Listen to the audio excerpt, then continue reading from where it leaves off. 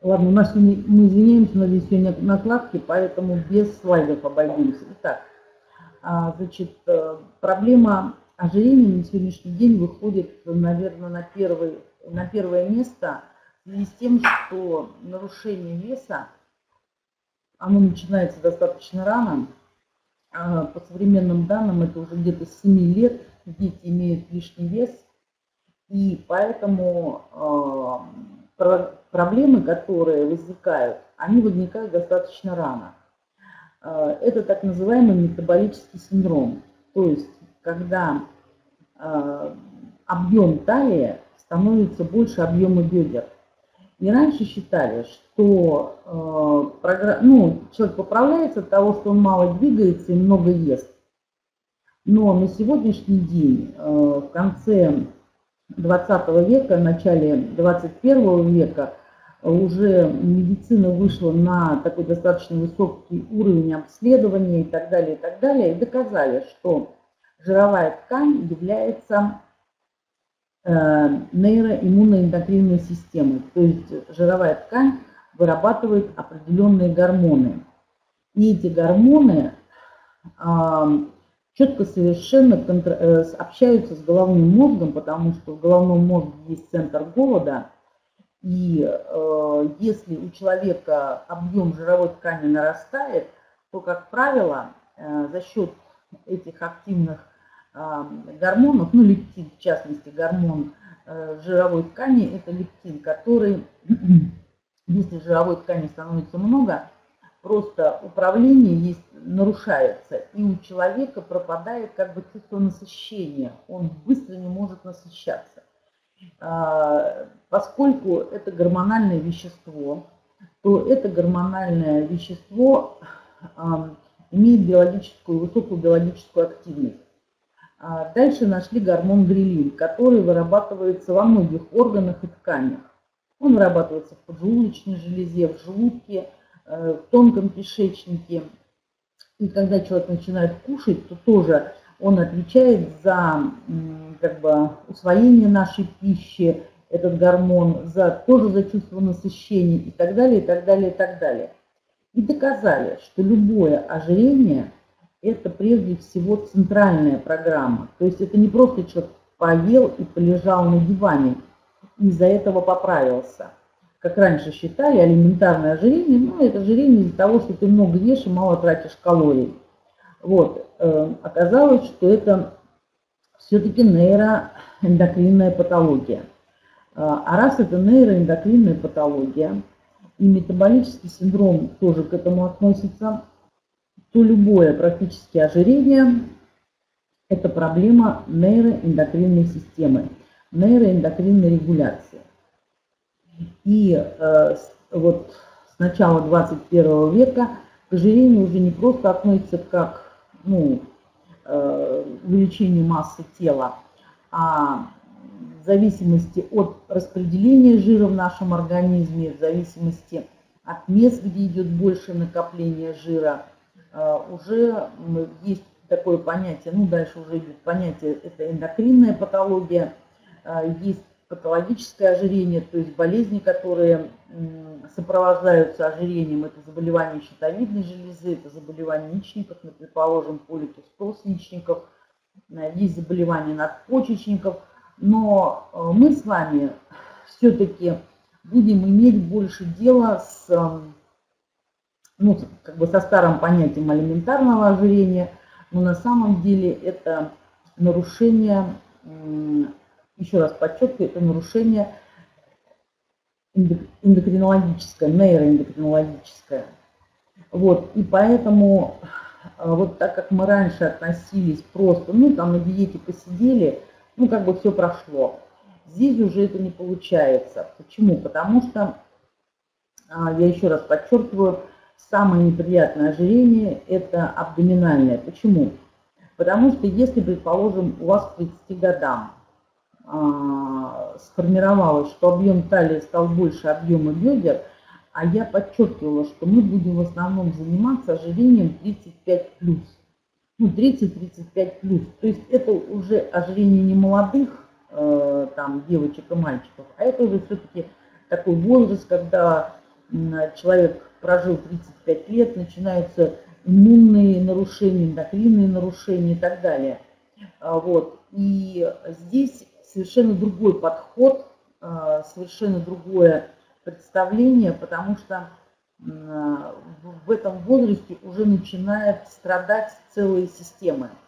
Сердечно-сосудистая система, пищеварительная система, печень и так далее, почки. То есть на фоне ожирения начинают формироваться болезни старения. То есть нету болезни, есть одна программа старения, которая у нас идет с вами начиная с 25 лет. Вот, и поэтому так по-разному нужно и восстанавливать организм. И восстанавливать организм. То есть здесь уже не проходит просто там ничего не есть, или что-то поесть, потом опять вернуться к образу жизни. То есть здесь самое главное не просто снизить вес, а удержать его. И это самое тяжелое. Почему? Потому что пищевые привычки формируются годами, а отказаться от них очень сложно.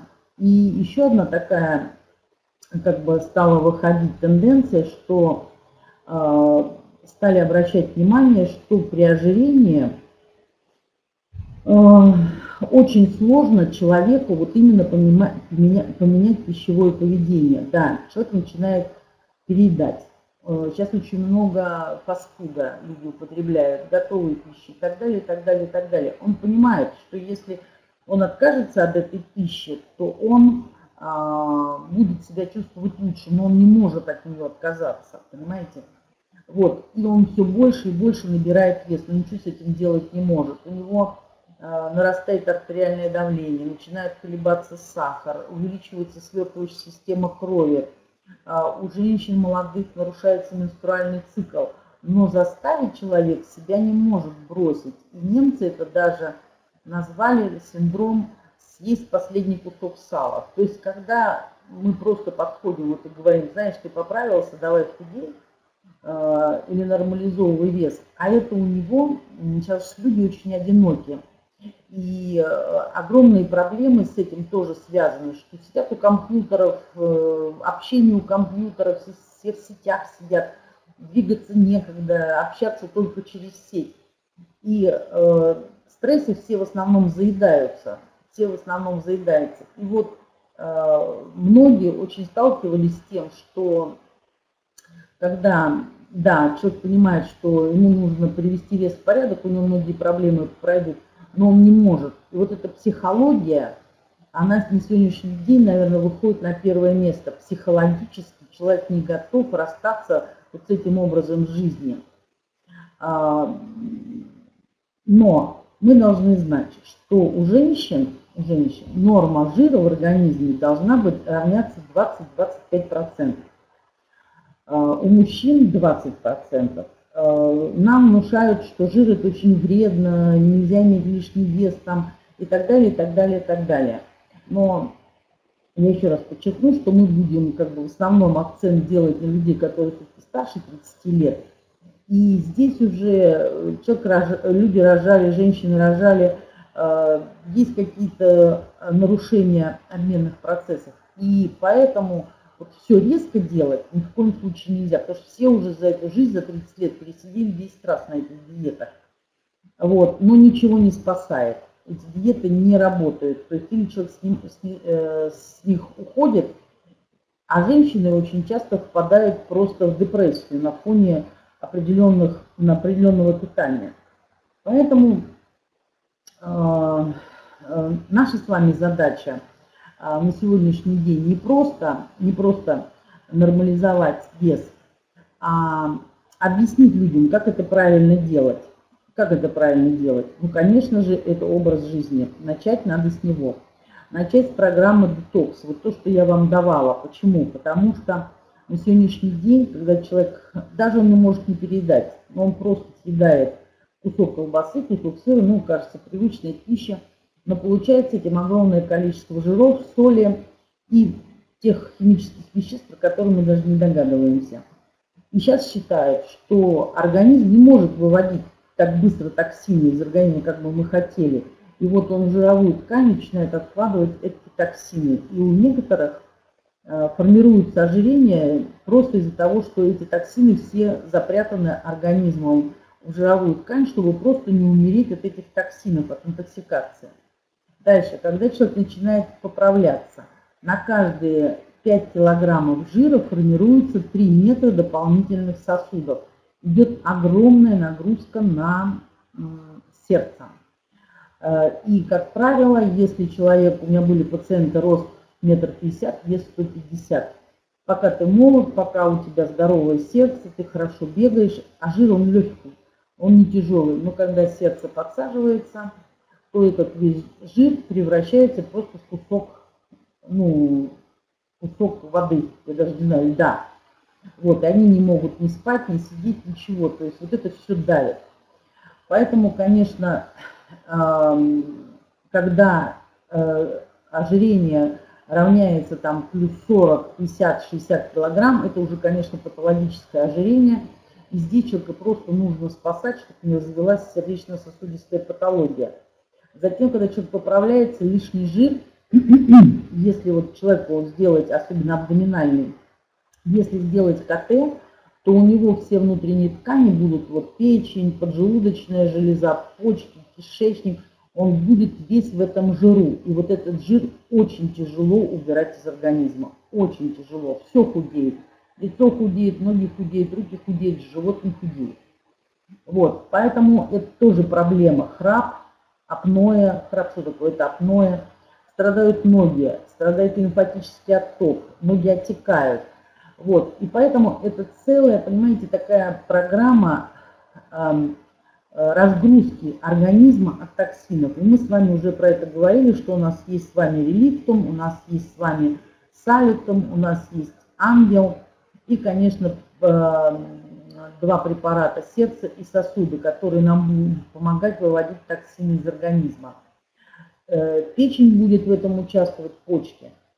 Что еще очень важно, это не голодать. Ни в коем случае нельзя голодать. То есть, когда вы кушаете понемножку три основных приема пищи, там, ну это мы поговорим про продукты попозже, но самое главное, когда человек каждые два часа перекусывает немножко, ну там огурчик съел, помидорчик съел, там яблочко съел, то вы кормите не жировую ткань, а клетку. Когда вы делаете перерыв в еде более 3-4 часов, и вы начинаете есть, вы не можете остановиться, у вас много инсулина, у вас центр голода говорит о том, мы хотим есть, клетки все хотят, говорят, мы хотим есть, и вы тогда нарушаете, вы тогда переедаете, вот, и, соответственно, вы уже кормите жировую ткань, а не клетки свои, глюкозой, предположим, да, вот, то есть это целый комплекс, но сегодня я хочу остановиться на таком, ну, достаточно новом, а, как бы,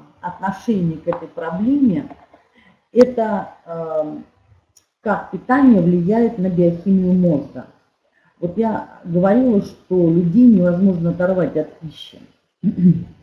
И они понимают, что им нужно нормализовывать вес. Я думаю, что вы все не раз это делали, но не получается, человек срывается. Почему это происходит? И вот на сегодняшний день, мне кажется, эта программа, она просто не просто нормализация веса, она, с нее надо начинать любую программу. То есть сначала надо менять э, биохимию мозга для того, чтобы запустить значит, нормализацию веса, сердечно-сосудистую программу, э, профилактика заболеваний печени, почки, ну, любого органа и ткани. Ну, конечно, надо начинать с мозга.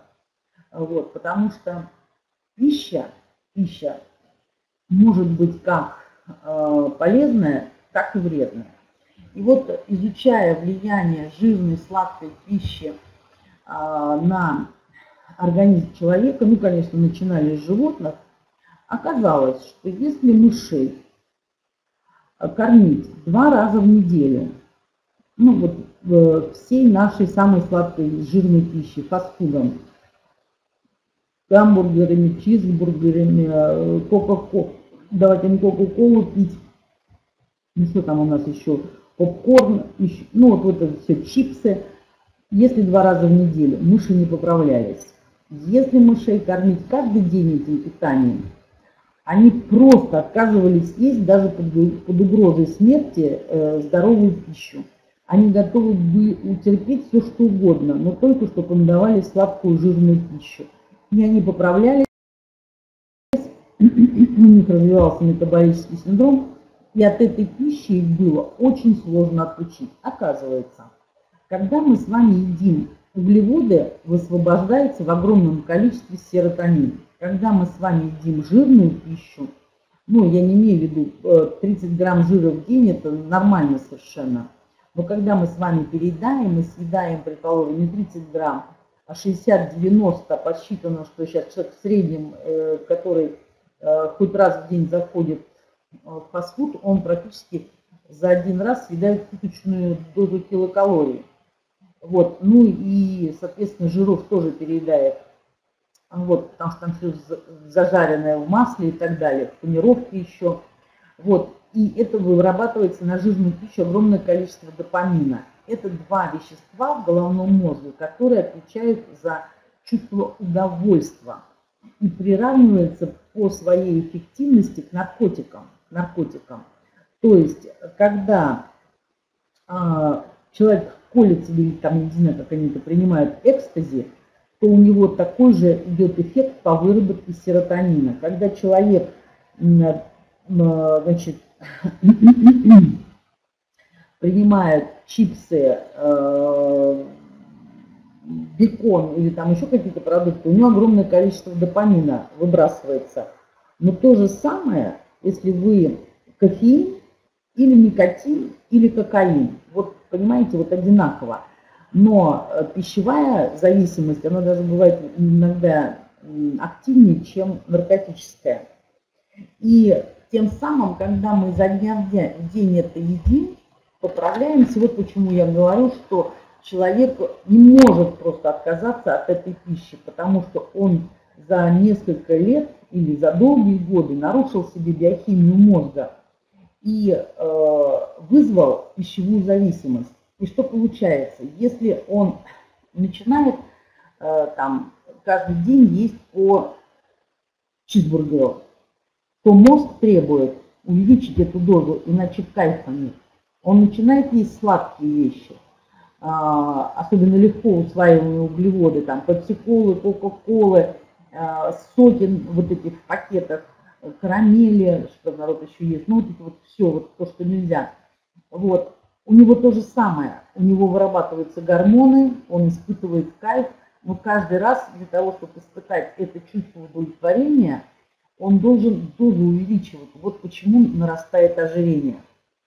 И а, доказали, что чтобы ну, восстановить биохимию мозга, для того, чтобы запустить процесс вспять, нужно 28 дней. Нужно 28 дней, чтобы человек полностью перестроил свою биохимию мозга, и у него не было такой потребности вот в этих жирных продуктах, жирных и сладких продуктах. А, но сразу это сделать, к сожалению, нельзя. Сначала запускается программа детокса. Это самая главная программа, которая будет выводить вот эти все токсины и помогать постепенно перестраивать биохимию мозга. Надо две недели, чтобы постепенно начать перестраивать биохимию мозга. А, детокс, я просто повторюсь, если мы с вами начинаем принимать реликтум, если мы с вами начинаем принимать салютом, а, ангел, что происходит? А, детоксикация происходит постоянно у нас в организме. Как только мы перестаем есть вредные продукты, тяжелые продукты, а, значит, сладкой, жирной пищи, твердой пищи, консервов, что это получается? Идет перераспределение энергии в организме. И э, организм вот эту высвобождающуюся энергию, которую он не затрачивает на переваривание пищи, он запускает на процессы детоксикации.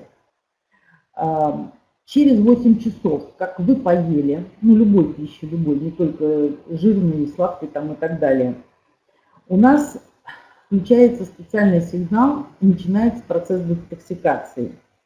И 4 часа происходит, в течение 4 часов происходит глубокое очищение всего организма. И к утру мы считаемся стерильными. У нас все токсины, все, все, все находятся уже в толстом кишечнике.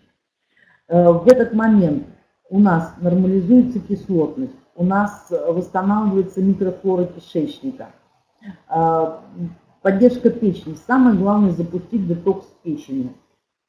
Он происходит в две фазы, как я вам говорил. Меняется структура токсина, он переходит в водорастворимую форму. И вторая фаза – это когда э, этот водорастворимый токсин удаляется из нашего организма. Когда мы с вами принимаем реликтум, э, он не работает у нас, вот вы выпили, и сколько вы думаете, у вас работают эти полстакана, они работают 6-8 часов.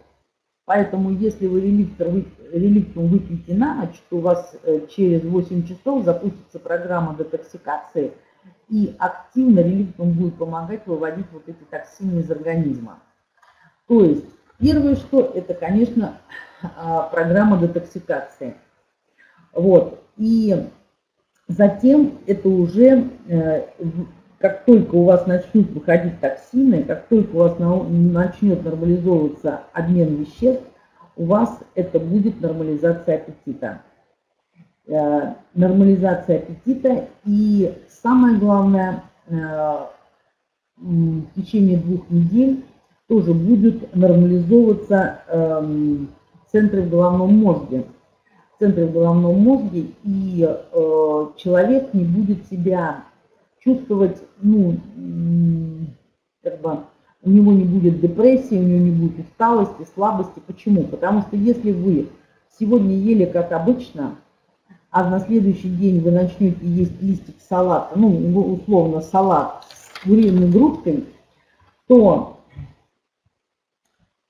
Э, что произойдет? У вас мозг не получит допамин и серотонин из пищи. А сам он ленится, у нас вообще очень ленивый организм, вообще очень ленивый, он не любит ничего делать. Вы знаете, что когда мы с вами переедаем жиры, что они сразу откладываются в жир, печень даже не вот задумывается. Углеводы откладываются в жир только после того, если вы съедите более 500 грамм сладкого за раз. Вот если вы выпили пол-литра сока за раз, то печень, возможно, отложит это в жир. Но почему сладкое даже хуже, чем жирное? Потому что оказывается, что когда мы выпиваем быстрые углеводы, то есть это соки, это сладкие воды, то печень начинает выбрасывать огромное количество триглицеридов. Это жирная такая фракция Э, холестерина. И для того, чтобы как бы вот эти все углеводы покрыть жирной оболочкой и затащить их в печень и начать процесс усвоения. Так вот, на сегодняшний день атеросклероз связывают, и вообще вот эти все болезни старения сосудов связывают не только с жирной пищей, когда человек передает, но самое главное со сладкой пищей. А с пищей самый неправильный – это облегченные жиры. Вот, поэтому, э, когда мы с вами убираем максимально неправильные вот эти быстрые углеводы и тяжелые жиры, э, ну, фастфуд в основном, фастфуд, колбасные изделия, копчености, консервы, готовую пищу, ну, вот это вот все, то мы восстанавливаем и жировой обмен, вот, и углеводный обмен. Но самое главное, э, нездоровый рацион вот в результате всего этого, когда все это изучили, нельзя просто считать признаком слабой воли. То есть, как говорят, вот у тебя нет силы воли, поэтому ты не можешь сидеть на диете. А он не может сидеть на диете, потому что у него, у человека настолько нарушена биохимия мозга, у него э, голова после того, как он не поел вот жирный, жирненького и слабенького, ему просто жить не хочется, у него просто вот депрессия. Женщины просто ну, я не знаю, мужчины так получше, а женщины просто злюками становятся, и начинают на всех, понимаете, портится настроение, апатия и так далее, и так далее, и так далее. И поэтому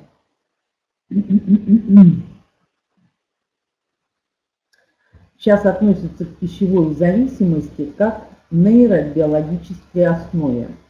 То есть в пищевой зависимости есть зависимость именно мозга вот, э, нейробиологическая основа, вот ее выявили, И поэтому пересматривается взгляд вообще на эту программу нормализации веса. Вот. А, и поэтому эти люди должны вообще в любую программу входить, особенно вот человек, который решил, да, я решил нормализовать свой вес, он не мешает там, предположим, или я себя хуже стал чувствовать, потому что, конечно, лишний вес – это нагрузка на сосуды, на сердце, э, но еще и на суставы. Если человек имеет 30-40 килограмм лишнего веса, то на суставы, предположим, когда мы стоим, на тазобедренный сустав это 750 уже килограмм веса давит, на коленные суставы 300, вот, на голеностопные суставы там немножко поменьше, 150. Но представляете, какая нагрузка на суставы, почему людей начинают они болеть, потому что колоссальная нагрузка идет на опорно-двигательный аппарат. Поэтому когда мы начинаем входить в эту программу э, нормализации веса, только, здесь речь идет не только о нормализации биохимии мозга и восстановлении функций, но здесь еще, конечно, нужно думать и о своем здоровье в целом, чтобы нормализовывать вес э, не для того, чтобы платье красивое одеть, а для того, чтобы э, восстановить функции всех внутренних органов и суставов. Сейчас огромная проблема с суставами.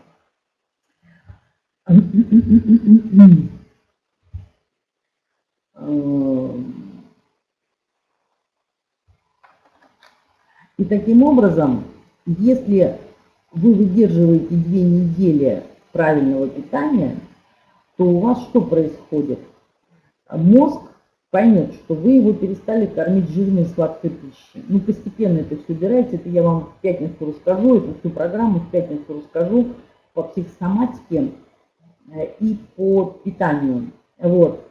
И две, за две недели происходит восстановление мозговых центров. То есть мозг начинает, как мы говорим, растормаживаться и сам синтезировать серотонин и допамин. И человек становится лучше. У него повышается настроение. Э, поэтому, когда вот э, мы проводим программу детокса, и вдруг вам захотелось съесть кусочек колбаски, как я говорю, пожевать и выплюнуть, ну неважно, вот вам захотелось какой-то съесть токсинчик, съешьте. Почему? Потому что мозг просит токсина, чтобы выработать серотонин с допамином. Сладенького съешьте. Немножко только, не надо там 6 раз в день это есть. Съешьте один раз. Вот чувствуете потребность, съешьте. Ничего страшного такого не будет. Вот почему неэффективно большинство диет. Потому что все диеты начинаются сразу, резко, без психологической подготовки, без всего, без учета в основном особенностей. Есть, говорит, вы поправились от того, что вы много ели. А, но некоторые худышки едят больше, чем полные люди, не поправляются. Вот. А некоторые полные едят очень мало, но набирают вес. Понимаете? Поэтому здесь вот это нестыковочка идет постоянно. И а, поэтому большинство диет у нас нам просто внушают, у вас есть сила воли, и вы за счет своей силы воли, вы человек, э, который может побороть себя, и вы за счет своей силы воли победите все равно, и вы все равно похудеете. Но это будет очень недолго. Это будет очень недолго, очень много срывов происходит, и человек возвращается к тому же весу. Почему? Потому что изучено, что для того, чтобы поменять пищевую привычку, вот 28 дней надо, чтобы только мозг восстановился. А, вот. Но самое главное, чем медленнее худеешь или нормализуешь вес, тем медленнее он восстанавливается. Но самое главное, надо изменить сознание. Вот. Как только человек э, начинает собой заниматься э, и нормализовывать свой вес, э, восстанов...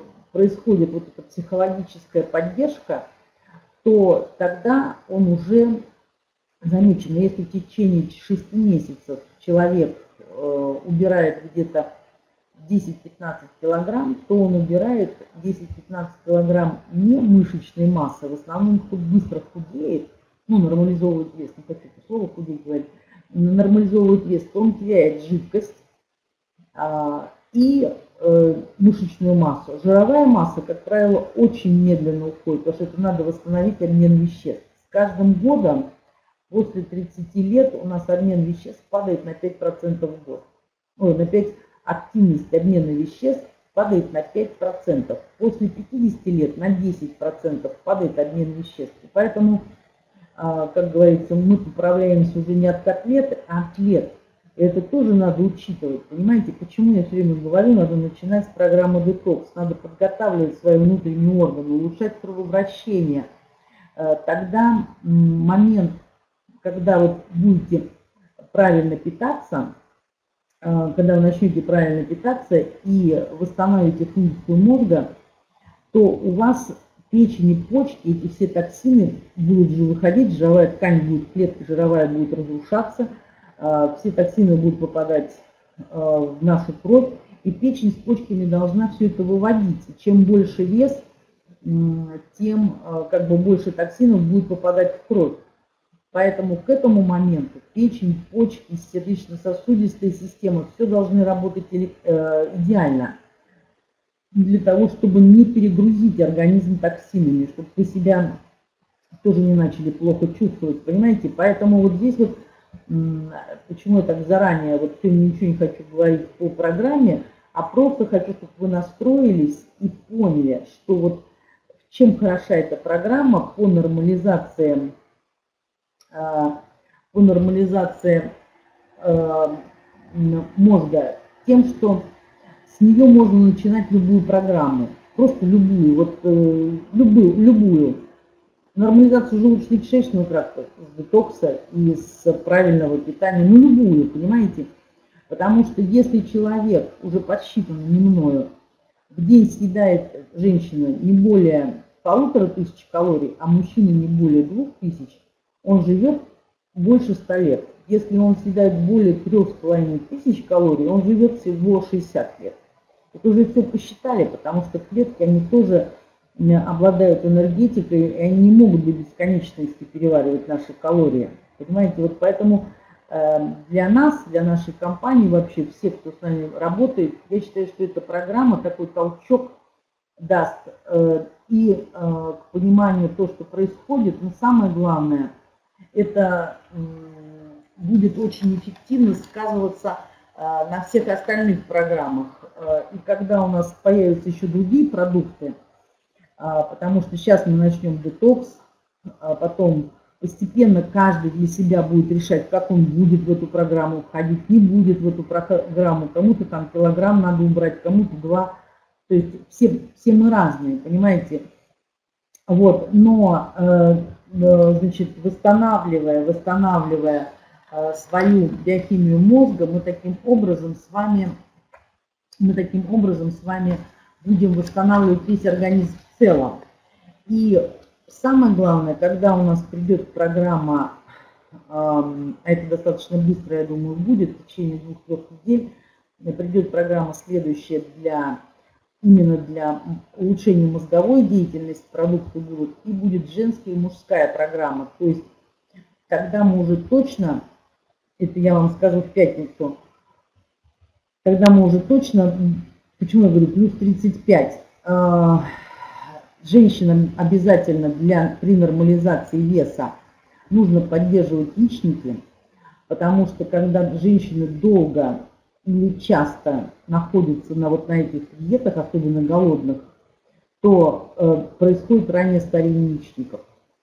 Или у женщин есть склонность к раннему старению яичников, или у женщин есть уже дисфункция яичников.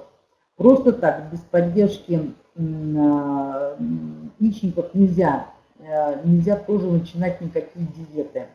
Иначе вы можете просто заработать ранний климакс, потому что все взаимосвязано в организме. А мужчины, у них, если полные, у них у всех тестостерон снижен. Вы можете проверить мужчину, у кого, а вот я вам покажу в пятницу эти слайды, которые сегодня мы просто не смогли показать, ну, чисто по техническим причинам. Вот, э, у них у всех снижен тестостерон. Все мужчины с пивными животиками, у них у всех снижен тестостерон. Поэтому, когда они начнут, сами захотят начать программу детокс, то, э, соответственно, они будут улучшать свою функцию печени, а у мужчин в полтора раза быстрее обмен веществ, чем у женщин. И за счет этого мужчины легче теряют вес, легче теряют вес. И все программы по нормализации веса у мужчин идут только на хорошем тестостероне. Поэтому у нас будет специальная мужская программа, это печень, семенники и предстательная железа. И вот все вместе, понимаете, мы с вами что этой программы достигнем? Нормализуя биохимию мозга, мы с вами, у нас будут продукты, которые нам будут помогать действительно нормализовать биохимию мозга. Вы просто будете пшикать в нос эти препараты, и у вас будет восстанавливаться нейроиммунная эндокринная регуляция гипофиза, гипоталамуса и так далее. То есть ну, шишковидной железы, где вырабатывается мелатонин у нас – на периферии мы будем поддерживать с вами печень, почки, поджелудочную, кому надо, у кого, предположим, развился на фоне инсулиновой недостаточности, инсулинорезистентности при ожирении, когда живот, объем талии становится больше объема бедер. Мы будем поддерживать поджелудочную железу, сахар сам начнет нормализовываться. И плюс, конечно, мы будем поддерживать яичники э, для того, чтобы а, не наступил, особенно у молодых женщин после 30-35 лет, не вызвать дисфункцию яичников и ранее старение яичников. Поэтому это вот целый комплекс. Это вот сегодня только такая вступительная часть, потому что это настолько серьезный вопрос, это, он касается практически каждого человека. Вот, и поэтому нужно вот эту программу, знаете, вот тоже вы подумайте, Э, я понимаю, с информацией нужно переспать, может быть, кто-то вообще первый раз слышит о биохимии мозга.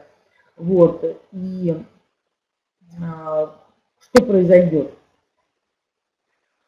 А, значит, как только у нас за 28 дней с вами сбалансируется биохимия мозга, мы будем, мозг уже не будет требовать токсинов, мы будем с вами кушать здоровую пищу, и самое главное, второй этап и первый, первый и второй должны параллельно с этим идти.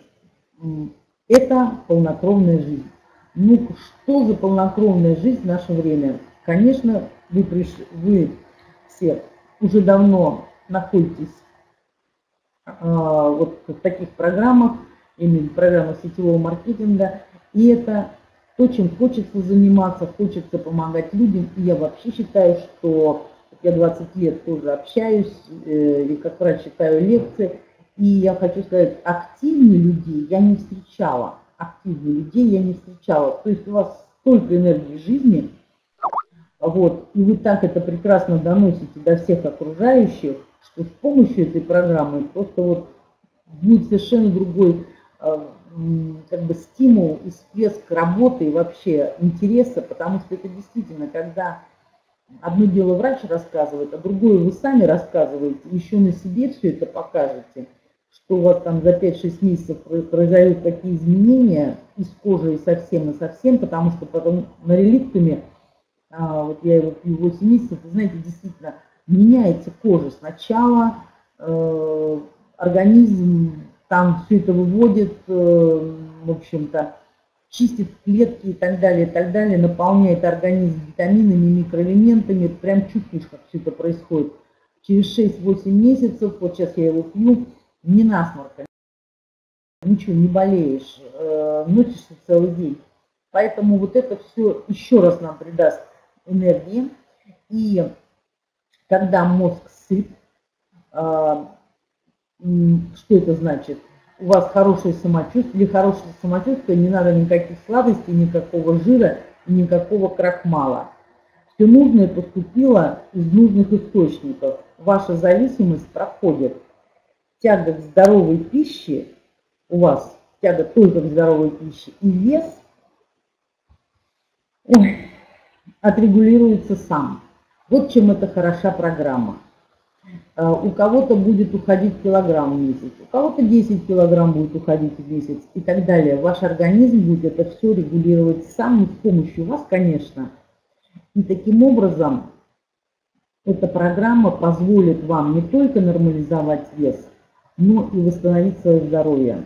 Понимаете, вот это самое главное, потому что когда люди резко и неправильно начинают сбрасывать вес, они теряют и нервные клетки, и мышечную ткань, и клетки сердца, и клетки почек, и клетки внутренних органов, и никто об этом не говорит особенно. Мы все это с вами будем учиться поддерживать и сохранять активно работающие органы. Вот мне эта тема безумно нравится, потому что я очень много этим занималась. Я вам постараюсь, наверное, в следующий раз не получится показать свою фотографию 6 лет тому назад. Вот. Но я вам хочу сказать, что я постепенно, вот, ну, э, с помощью тоже психокоррекции убрала почти 40 килограмм веса. Я знаю, что это такое.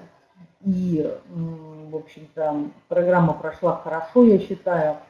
Э, вот, я продолжаю контролировать свой вес. Вот это самое сложное, вот эта вторая часть, поверьте мне, она самая сложная, потому что вот это вот домашняя, домашние привычки, немцы посчитали, что человеку для нормализации вот привычек домашних, которые закладываются с детства, нужно 40 лет, понимаете, чтобы изменить семейные привычки питания. Это очень важно, потому что мы все получаем воспитание в семье, и привычки э, пищевые, пищевые мы тоже получаем в семье.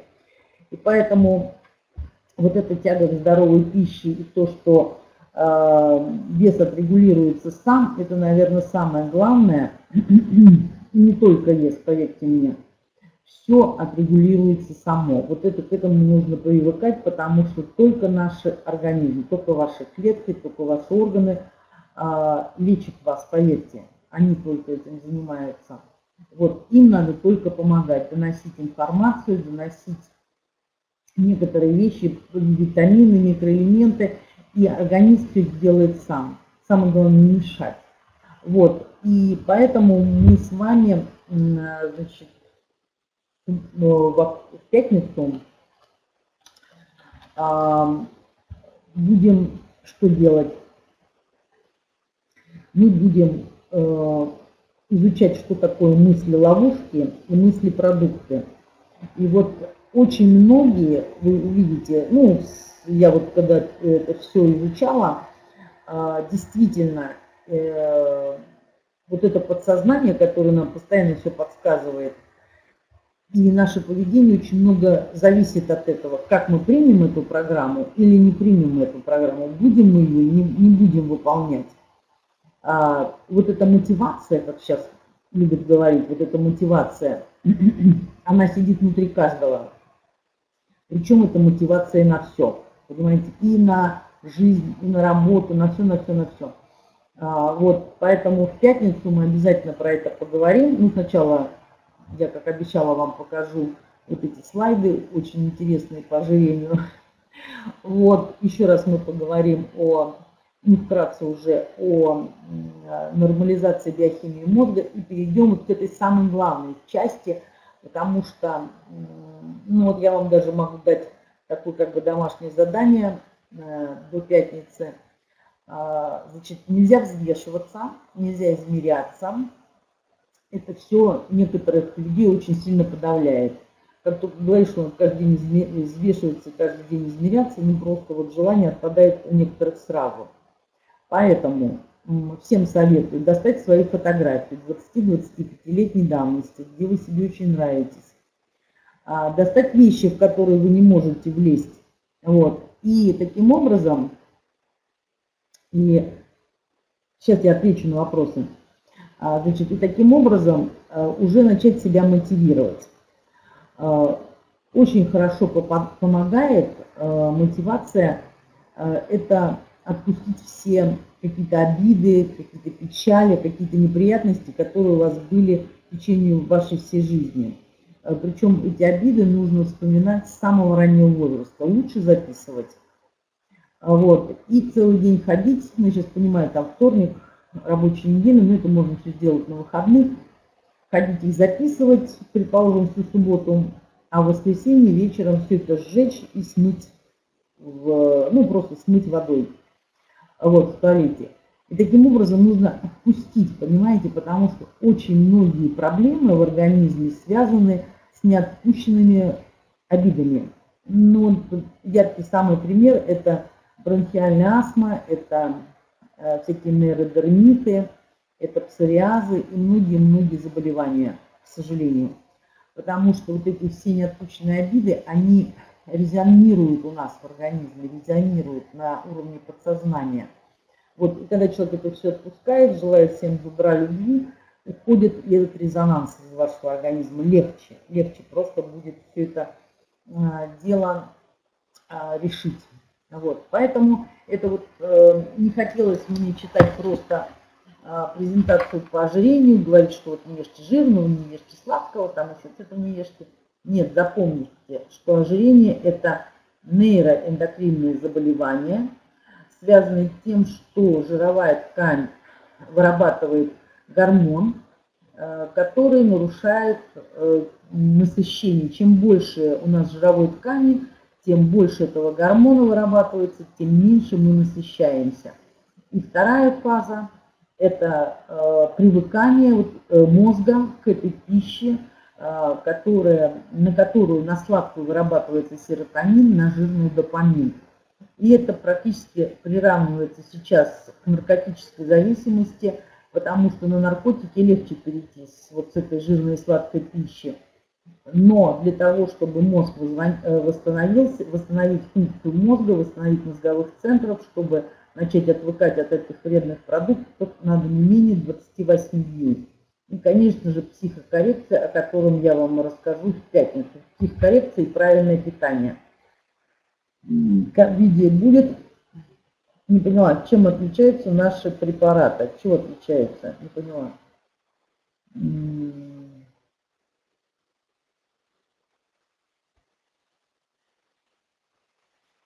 Ну, лор не капают, а лор брызгивают в нос. Вот, сначала одну вы ноздрю закрываете, потом брызгаете, потом вторую также. Но сколько раз, э, вопрос, сколько раз надо капать? Ну, вы знаете, ну, пока не пройдет, что у вас там, я не знаю, не меньше 7 дней, если у вас какой-то острый ринит или у вас какое-то хроническое заболевание, трудно ответить на ваш вопрос.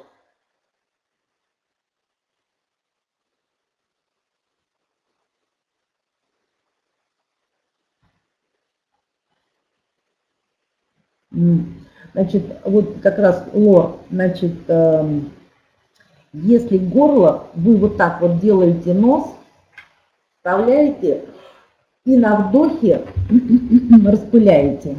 На вдохе распыляете, потому что не нужно рот сильно открывать, надо нос закрыть, и чтобы на вдохе себя вот это вот, оно все равно долетит куда, куда ему нужно.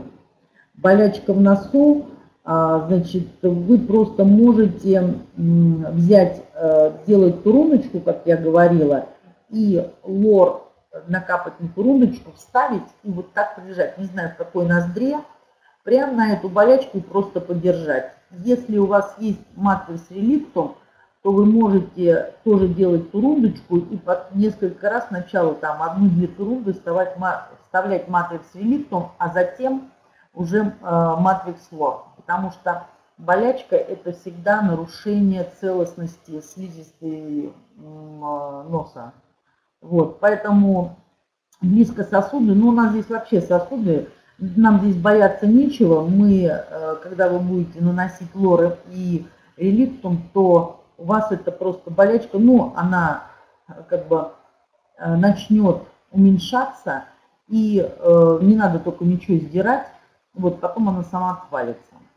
Просто нужно это делать 2-3 раза в день. При нарушении веса, вот я сказала, программа детокс – это реликтум. Покупаете реликтум, разбавляете его в 5 литрах воды и начинаете принимать там четверть стакана 2-3 раза в день перед едой. Можно перед завтраком, обедом, а последние полстакана прям на ночь, через 2 часа после еды. А реликт, он великолепно совершенно выводит токсины, тяжелые металлы.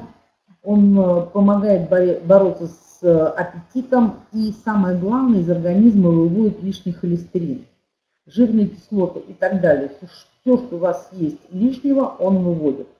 А, второй продукт – это у нас матрикс салютом. Матрикс салютом – это вы начинаете буквально, э, там есть у нас методички, там написано, что матрикс салютом, там есть целая таблица по матриксу салютому. Первый день можно начать по 2,5 грамма, но это вот мало. Это совсем прям чайной ложечкой чуть-чуть. Вот, э, что он делает? Он, во-первых, имеет э, энергоинформационную основу здоровых клеток, и э, таким образом вы запускаете как бы диагностику, с одной стороны, где у вас какие проблемы, почему нельзя матрикс салика много сразу, там столовую ложку или еще что-то, потому что это энергоинформационный продукт. А вот, э, чтобы не повысилось давление, чтобы как-то вы себя не так почувствовали, а он действительно работает. Понимаете, если вы в нос пшикаете, помогает, в глаза закапываете, помогает, то уж поверьте мне, вовнутрь то же самое произойдет. Значит, матрикс селиктором и матрикс салютом начнут активировать обменные процессы, которые у нас происходят, особенно печень, печень. Вот, и матрикс ангел. Вы знаете, прекрасный продукт, а, вы его можете разводить, предположим, берете бутылку, а, где-то миллилитров 200-300 воды, хорошей только, и туда 5-10 капель капаете матрикс ангел. И пейте в течение дня, но только не пейте, а под язык, вот хочется пить, и вы возьмете и пол, там пол глоточка под языком рассосете. Он тоже, там входит а, специальная вытяжка из лиственницы эм, даурской. Вот, и он обладает как раз мощным детоксом, то есть вот вся гадость, которую будет вытаскивать реликтом, э, матрикс ангел будет тоже помогать дополнительно выводить наружу. Но вы его можете растворять, вот еще раз повторюсь, там на 200-300 мл воды 5-10 капель, и в течение дня под язычок брать и проглатывать. Очень хорошо. Вот. И, конечно же, кому уже там за 40 или большая, большой вес, большой вес, я еще раз повторяю, это 35-40 килограмм, а, то этим людям обязательно нужно на матрикс кардиум и матрикс коронар, то есть сердце и сосуды. Можете по 5 капель 3 раза, можете, если это 10 капель с утра, 10 э, капель с утра сосудов и 10 капель сердца. Это тоже для того, чтобы, поймите, наши препараты не просто там сокращение сердца увеличивают, не просто там сосуды расширяют. А, э, матрикс кардиум, а, что он делает? Он метаболические процессы восстанавливает в при ожирении, там, при нарушении менструального цикла, при любом вообще диск, как мы говорим, все это отражается на сердце. И поэтому, если мы правильно все хотим делать, то э, сердце и сосуды у нас всегда должны быть идеальными. Всегда. Вот у нас сейчас в Москве тоже люди принимают эти продукты, но вот 3, 4, 5, 6 дней уже начинают чувствовать, что и сосуды, э, особенно вот у кого есть синдром усталых сосудов, у кого есть отеки вечером, это все виновные о венозных проблемах говорит, начните принимать матрикс кардиум и матрикс коронар, и вы все сами это увидите, что у вас к вечеру меньше будут уставать ноги, будет меньше отечности, пастозности на ногах. Вот это нам надо все готовить в программе нормализации веса. Сердце, сосуды, улучшать кровообращение, печень и вот эти вот все вещи. Поэтому вот эти э, как бы реликтум ангел салютом и сердце с сосудами. Ну, вы там просто посмотрите, что вам как бы больше нужно. Если больше нужны сосуды и сердце, значит сосуды и сердце. Но реликт он всегда должен быть с ангелом. Вот всегда. Это детокс. Да. Сколько? Три раза в день. Лор. Но вот, опять же, это все та же женщина спрашивает. Э, но не менее трех раз, во всяком случае. Чем отличать опять? Татьяна Золотоуст, чем отличается, от каких добавок? Объясните мне, пожалуйста. У нас вообще добавок нету. У нас энергоинформационный продукт, там нет никаких добавок. но только если реликтум с селеном. Селен можете разводить в воде, можете и так его пить, как хотите, как вам нравится. Но можно также развести, добавить его в матрикс ангел, добавьте его в бутылочку из-под матрикс ангела, пожалуйста, пейте. Ой, матрикс ангел, вот вы в бутылочку добавляете, добавьте туда и селену, тоже хорошо будет, ничего страшного. Ой. Чем отличаются капли от капель сада? Энергоинформационный продукт. Энергоинформационный. Там записана информация о сердце и о сосудах. В саде, в саде а, находится э, био, э, сейчас скажу, сейчас скажу, так, там находится представлены определенные э, регуляторные белки из определенных внутренних органов. Из сердца находится регуляторный белок. У нас записана информация о э, сердце эмбриональном. И поэтому, когда мы с вами принимаем наш продукт, то у нас идет э, информация поступает э, в правый желудочек, где находится нейроиммуноэндокринная система, и в результате этого сердце дает команду э, почкам, и почки регулируют водный электролитный баланс нашего организма. То есть сердце, это, это недавно открыто совершенно, это 10 лет назад, любой орган вашего организма является нейроиммуноэндокринным органом. Поэтому сердце не просто воду, э, кровь перекачивает у нас, а у нас сердце также является нейроэндокринным органом и отвечает за водно-электролитный баланс. То есть ваше давление не от почек только зависит, а от сердца то же самое. Поэтому это вот совершенно недавние данные все. Ну и, конечно, это разные совершенно вещи у нас э, липтум никак, с салютом там тоже ничего нет, там энергоинформационная матрица здоровой ткани, матрикс декорис это кожа здоровая, ангел это вот у нас вытяжка из э, лиственницы даурской, а матрикс лор это у нас тоже информационный продукт. А вот сердце и сосуды это эмбриональная информация с эмбриональных тканей. Потому что сердце после нашего рождения кардиоциты не, у нас не, количество кардиоцитов не прибавляется в сердце. Они вот как вы родились там с определенным э, количеством кардиоцитов, они у вас просто в объеме увеличиваются, сердце у вас всего ну, вырастает с кулак. Понимаете, был кулачок маленький, стал кулачок большой, и все. То есть сердце это не тот орган, в котором кардиоциты прибавляются э, с возрастом, так же как и мозг.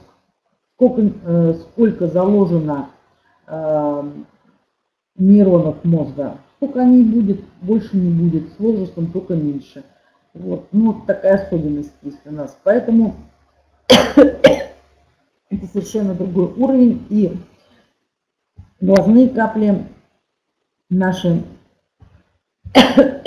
матриксивизум, а, там в саду 10 капель, а здесь одни капли, которые, в которых тоже записана матрица нормального глаза, и здесь совершенно другой принцип работы. То есть с нашим, с нашим продуктом у вас поступает в организм э, энергия, это восстанавливается ваше электромагнитное поле и информация. Информация о здоровом, э, там, предположим, здоровой роговице, здоровом хрусталике и так далее. И когда вы закапываете это все, то э, ваш глаз, ну так можно сказать, любой внутренний орган ваш глаз э, сам находит проблему и сам ее решает.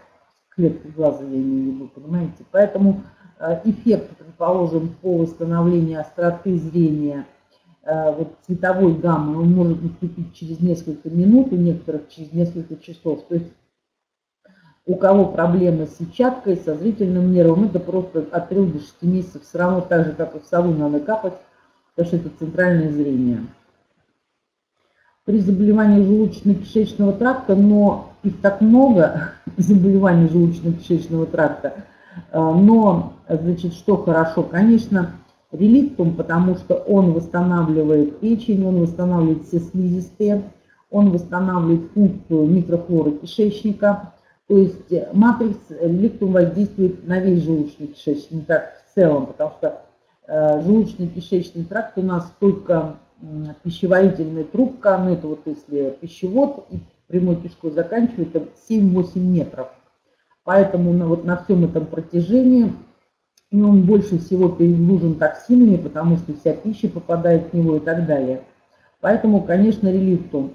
И с салитом. С салитом обязательно, опять же, начинать с небольших доз, потому что он будет находить проблему и будет, будет ее решать. Поэтому вот, пожалуйста, эти два препарата. А если человек переболел гепатитом или есть жировой гепатоз, ну кого его нет, вот, если вы живете в неблагоприятном регионе, или питает, человек неправильно там долгое время питался, я просто не знаю, о чем идет речь. Там есть и болезни печени, и желчного пузыря, о чем идет речь, ЖКТ, это же огромная область. Вот, то еще, конечно, подсоединяйте ангел, как я вам говорила, по 10-15 капель на 200-300 мл воды и под язычок в течение дня выпивайте. Вот. Язва луковицы, 12 перстной кишки. Вот все и принимайте, то, что я сказала. А, матрикс реликтум будет восстанавливать слизистую, салютом будет находить проблемы, э, чтобы там тоже там при язвенной болезни 12 перстной кишки, там самое главное, чтобы стеноз не образовывался. Вот, поэтому это слизистую и ангел то же самое будет восстанавливать слизистую. Вот эти все три препарата, они будут вам великолепно восстанавливать слизистую желудка. Ну вообще и слизистую пищевода, и желудка, и 12 перстной кишки потому что обычно там проблема с повышенной кислотностью желудка рефлюксами всякими. Поэтому здесь еще и печенью надо заниматься. И как раз вот эти вот все три препарата очень хорошо помогут, помогут, потому что как раз осенью у всех все обостряется. Угу. Ну, давайте еще вопросы есть.